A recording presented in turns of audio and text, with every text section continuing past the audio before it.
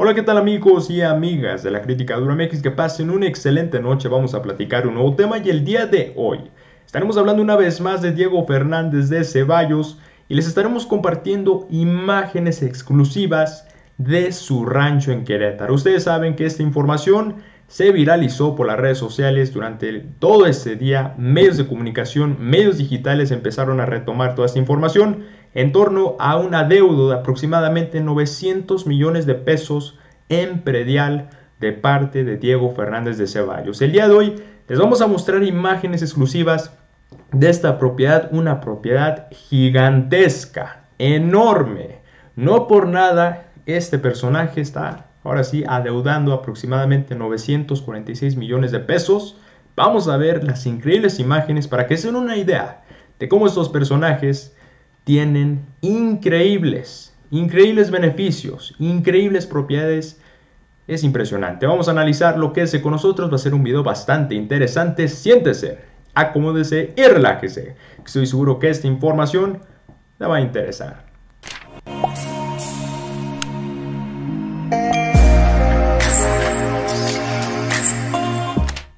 Bueno, ¿y con qué vamos a arrancar? Tenemos aquí la información que estaba circulando durante todo este día. A deuda jefe Diego 946 millones de pesos por predial de su rancho El Estanco en Querétaro. Entonces se da a conocer toda esta información, se hizo todo un escándalo, todo un revuelo en las redes sociales, generalmente en Twitter es donde normalmente pues esta información se empieza a hacer tendencia.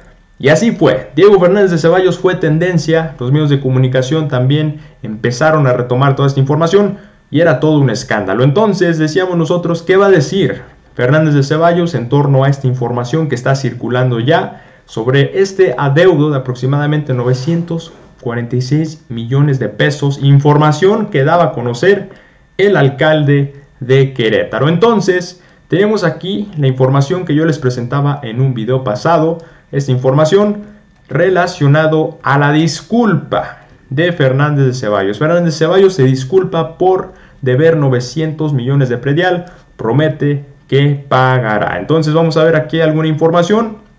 Alejandro Ochoa Valencia, alcalde de Colón Querétaro, aseguró que Diego Fernández de Ceballos eh, Ramos tiene la disposición para pagar los adeudos que hoy fueron revelados por el Universal. Y dice aquí, él está con toda la voluntad, se disculpó por el tiempo que en su momento dejó esto en descuido, se presentará una propuesta, se llegará a un acuerdo, dijo Ochoa Valencia en entrevista con los periodistas de grupo Radio Centro, conducido por Alejandro Páez Varela y Alejandro Delgado Gómez. Entonces, Fernández de Ceballos dicen, vamos a negociar, vamos a pagar, porque ya las redes sociales, los medios de comunicación, los reflectores están encima de mí. Entonces tenemos algunas palabras, algunas declaraciones de Fernández de Ceballos.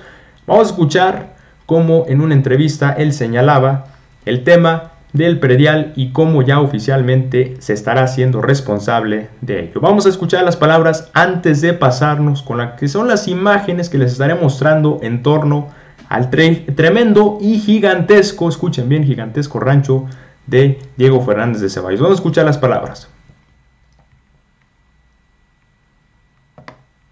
Pero con la misma claridad te digo, yo no litigo ningún asunto personal o de mis clientes a través de los medios de comunicación, pero sí puedo decirle a tu público que esté seguro que estoy platicando con las autoridades competentes para buscar decentemente una solución legal y justa a este reclamo que se ha hecho a través de los medios de comunicación. O sea, si el señor presidente municipal dio esta información, él está en su derecho, pero yo no lo a través de los medios de comunicación. De inmediato lo he buscado para encontrar que dentro de la ley, sin privilegio alguno, pero tampoco sin abuso de poder, se resuelve este asunto decentemente para evitar litigios que no vienen a cuenta. Bueno ahí ustedes pudieron escuchar las palabras de Diego Fernández de Ceballos, una entrevista allá en Grupo Radio Fórmula. Tuvo que hacerlo Fernández de Ceballos. Al final de cuentas, él sentía ya la presión sentía ya la agua en el cuello.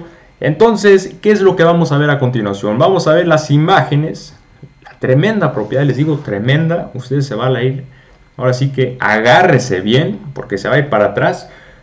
Estos videos que le voy a presentar a continuación son de este rancho de Diego Fernández de Ceballos. Quiero que vean nada más las imágenes, insólitas, tremendas. Vamos a verlas rápidamente.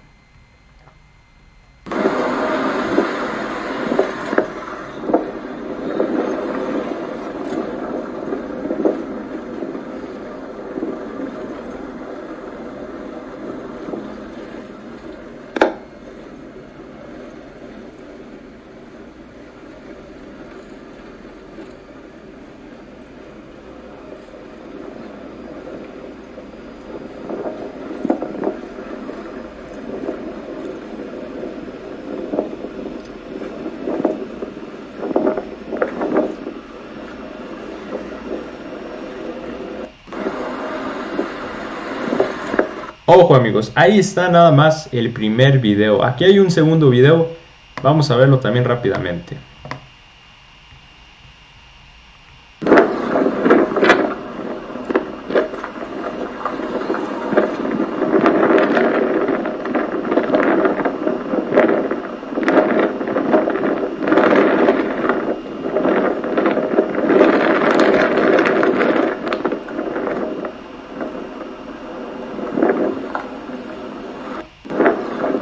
Ahí finalmente termina. Ahí ustedes pueden ver las imágenes en pantalla. Ahí termina ya lo que es este largo recorrido. Vean nada más esas imágenes, amigos. ¿Qué opinan ustedes al respecto? ¿Qué es lo que tienen ustedes en mente actualmente cuando ven?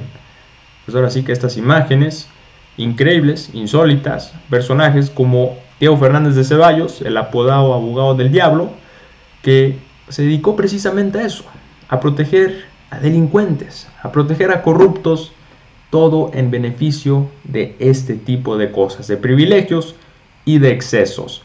Yo quiero comparar estos temas, el tema de la propiedad de Diego Fernández de Ceballos, ahorita vamos a analizar lo que es todo este tema de su propiedad.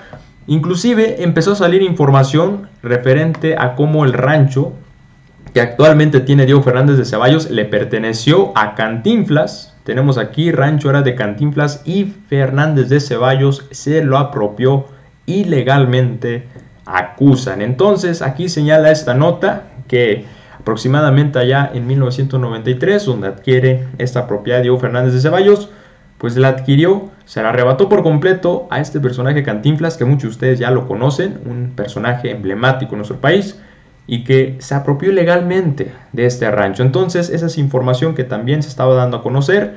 Pero bueno, quiero hacer una comparación. Hemos visto personajes como un Carlos Romero de Shams, que se construyen mansiones lujosas, valores de aproximadamente 6.4 millones de dólares allá en Acapulco.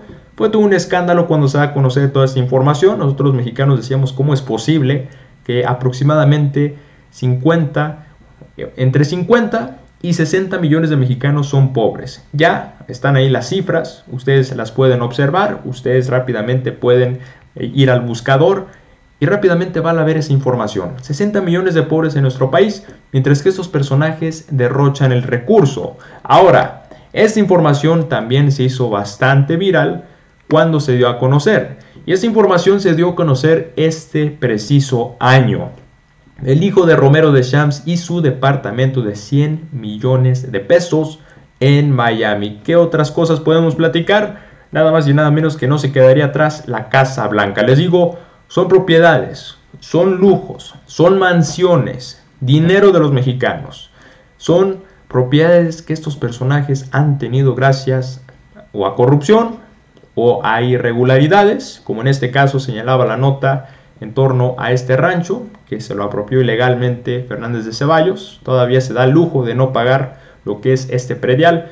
Pero si ustedes se fijan, así están las cosas. Así estaban los excesos. Así estaban los privilegios. Tuvo que llegar un nuevo gobierno, y lo voy a seguir diciendo cada vez que lo digo. Tuvo que llegar un nuevo gobierno para que a los mexicanos le abrieran los ojos, para que al mexicano le dijeran, aquí alguien está cometiendo una irregularidad, aquí alguien está haciendo corrupción hay que poner los ojos encima de él. Esto es algo que los mexicanos ya están haciendo, ya están avispados, ya se genera esta presión social en torno a estos personajes. Créanme, sí que si las redes sociales no hacen este esfuerzo, esta presión sobre Diego Fernández de Ceballos, este personaje ni siquiera sale de la cueva. Entonces, así están las cosas, así están las imágenes. Les digo, ustedes tendrán su propio punto de vista, pero a mí en lo personal me parece una propiedad sumamente tremenda, sumamente grande. Así están los privilegios de estos corruptos.